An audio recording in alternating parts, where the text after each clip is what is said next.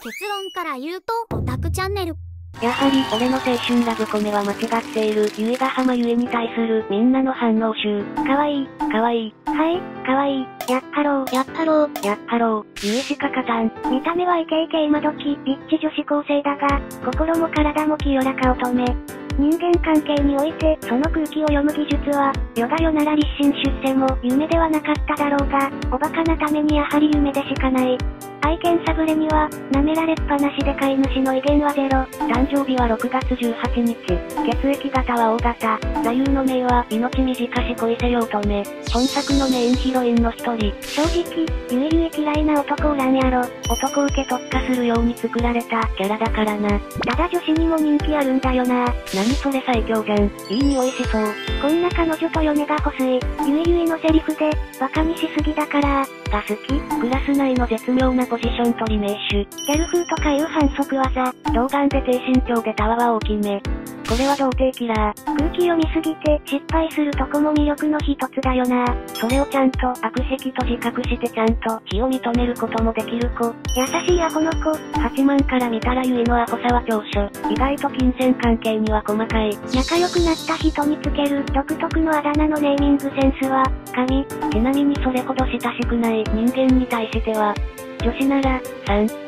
男子なら、君をそれぞれつけて呼ぶぞ。得意料理は、木炭。ゆいちゃんにためらいがちに踏んでほしい。踏まれて感じてるところを見てドン引きしてほしい。やばい奴が早めに湧いてきた。ゆいゆいと雪のんがイチャついているシーンが好き。ゆえが浜ゆいとディズニーランド。という夢を見た。ゆえさんには泣かされっぱなし。ずっと泣かされ続けてるゆえだから、最後は笑えるといいな。泣きのゆえ。そういえば、よく似た声のジャンシは泣きがうまかった。感が進むごとに薄れゆくビッチ感。精一杯やったことをねぎらいつつ、やり方をすぐには変えられないことも受け入れて、一緒に傷つくが浜さんマジ嫁。みんな想像してくれ。疲れた仕事学校帰りに、玄関にゆえが浜ゆえ。興奮しすぎてむしろ帰れんわ。じゃあ俺が帰るよ。いや私が帰ります。いや俺が帰るから、けなげだよな。けなげすぎるよな。サブレは俺の愛犬。つまりはゆえは俺の嫁。ゆえ派は妄想強め。ゆきのん派とゆえゆえ派。これはもう戦争だろうが。もう、この戦争は10年以上続いてます。命がもったいない。おい待て、誰か忘れてないか？勢力増やすな。つみちゃんこそ思考。平塚先生の名前でないとか、正気かお前ら。ここゆえすれですので、皆さん帰ってもろて。頑張るゆえゆえが可愛い。八幡と一緒にいる時のゆえゆえが幸せそうすぎて、ほっこりする。よくある、主人公と一緒にいるうちに、主人公を好きになったタイプじゃなくて、初めっから八幡に一直線なのがたまらなく可愛い。ハニトーが定期的に食べたくなる。最初から好意持ちではあるけど、序盤は悪口言い合ったりしてたのに、話が進むにつれてどんどん、ベタボレ状態上がってく。が浜さん可愛い。一巻で奉仕袋前から気になってたんだよな確か。八幡曰くそれは犬の件でのことがあってこそだったけど、結果的には好きだったわけだし、序盤で八幡にビッチ扱いされてたのが遠い昔のことのようだ。八幡とゆいが結婚したら、新郎側と新婦側で友人数が偉い差になりそうだ。八幡の関係者側の席に着こうとする葉山の姿が頭に浮かんだ。葉山は八幡側で出席したがるんじゃないか。それで8万に嫌な顔される。ブーケキャッチに超必死になる静香ちゃん。ガハマさんみたいな姉欲しかった。ゆいゆいみたいな妹欲しかった。しっかり予算管理したり、自分のことを差し置いて8万をねぎらったり。姉タイプもいけちゃう。ぶっちゃけ、ゆえが浜に彼氏がいないことが不思議だったり。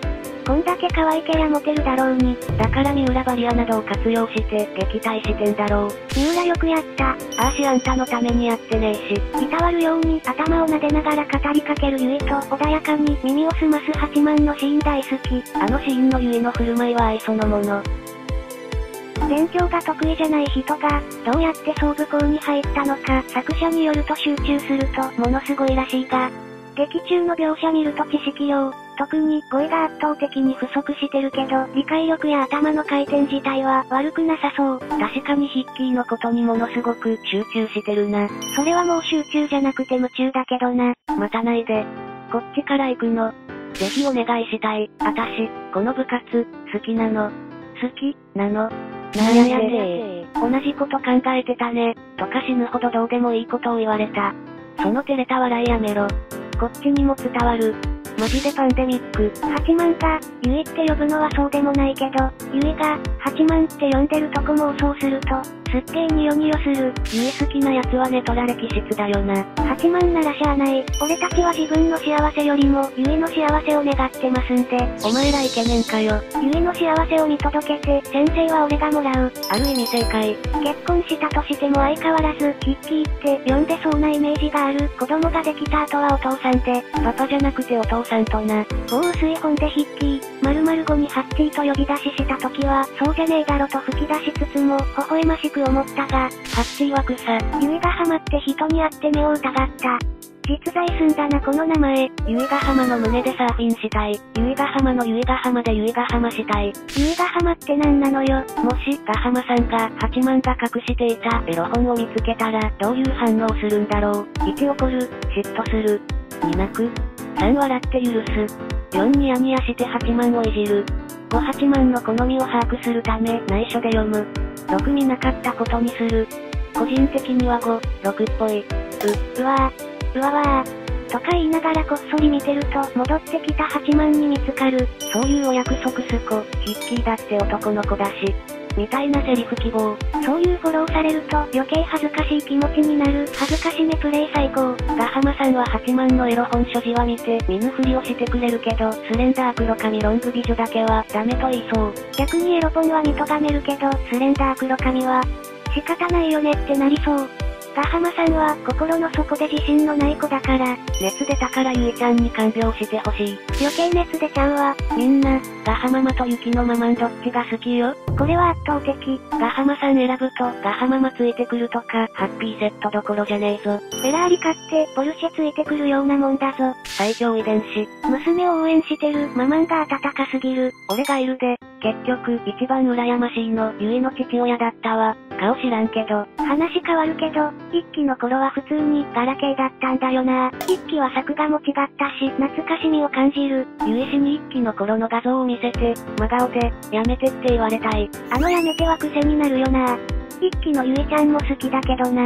赤ちゃんプレイしたい。八幡が赤ちゃんプレイとか想像したら怖いわ。お前らの想像の中で色々やらせられる八幡かわいそう。割とまんざらでもない八幡であった。あーが浜さんとキスしてえなサブレに転生すればチュッチュできるよ。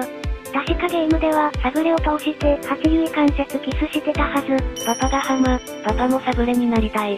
昔みたいに一緒にお風呂入って一緒に寝たい。闇が深い。ハニトー食いたい。ハニトーになりたい。食べてる姿を眺めたい。美味しそうに食べられたい。ガハマさんとお団子食べたい。ガハマさんのお団子食べたい。後発のやつやばすぎて草。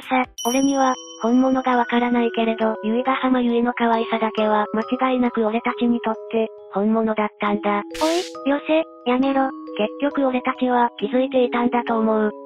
それでも見て見ぬふりをしていた。こんな話が、ずっと続けばいいのにって思う。本当は全部わかっていたけど、もしかしたらを願っていた。な、何を言って、だからお願い、もう少しだけ、誰も見ていない、この場所で泣く時間をください。だからお願い、俺たちが俺たちについている嘘を、どうか本当にしてください。だからお願い、どうかこの物語を幸せな形で、ちゃんと終わらせてください。だから、お願い。終わらせないで、最後に悲痛な心の叫びをぶちまけてしまったな。それでも俺は、ゆいちゃんの黒キャミが好き。やっぱダメだわこいつら。ということで今回はここまで。チャンネル登録、高評価していただければ嬉しいです。次回の動画もよかったらご視聴よろしくお願いします。また次の反応集も見てってね